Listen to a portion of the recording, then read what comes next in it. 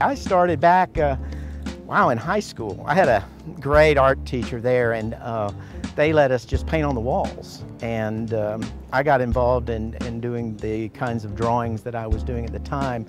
Uh, I was able to put them up on the wall and so it, it, even at an early age I was involved in, in larger imagery.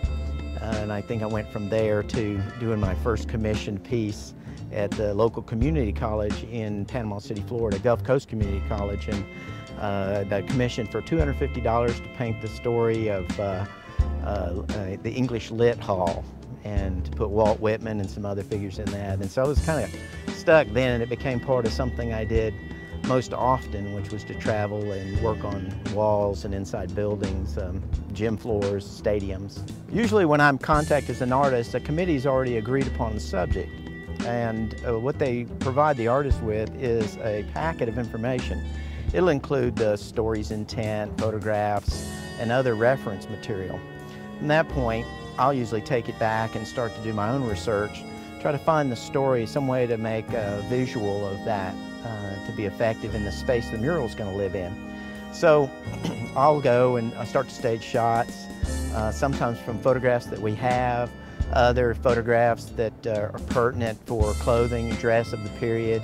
Uh, we had some wonderful photographs for the mural behind me, the steamboat mural. We had actual photographs of the steamboat. In this case, we wanted to tell the story about the local children's excitement and community people's excitement about the steamboat's arrival and what they might see. My favorite would have to be the AME Church mural.